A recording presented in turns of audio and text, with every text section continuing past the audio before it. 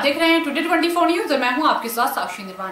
गाजियाबाद में हिंडन एयरबेस पर वायुसेना का पहला सी सत्रह ग्लोब मास्टर करीब 200 छात्रों को रोमानिया से लेकर पहुँचा। देश के रक्षा राज्य मंत्री अजय भट्ट ने उनका यहाँ पर स्वागत किया। रात को तकरीबन एक बजकर तीस मिनट पर वायुसेना का ग्लोब मास्टर हिंडन एयरबेस पर उतरा। यहाँ पर स्टूडेंट के स्वागत की पूरी तैयारी की गई थी। नई दिल्ली की रहने वाली फीमेल स्टूडेंट्स ने बताया कि उनके सामने ही कुछ छात्रों के साथ यूक्रेन में मारपीट हुई थी। उन्होंने पूरा मामला बताया कि किस तरह से यह मारपीट हुई थी। वहीं उन्होंने बताया कि कैसे भीड़ होने की वजह से कई छात्र वहाँ पर चोटिल हो गए थे।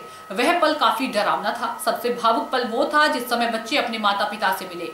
यह पल हमारे कैमरे में कैद हुए। जैसे ही हिंडन एयरबेस पर सी सत्रह से पहुँचे, स्टूडेंट्स को लेकर आई ए, आई बस एयरबेस आई बस एयरबेस के बाहर पहुँची पेरेंट्स का जमावड़ा लगा हुआ था।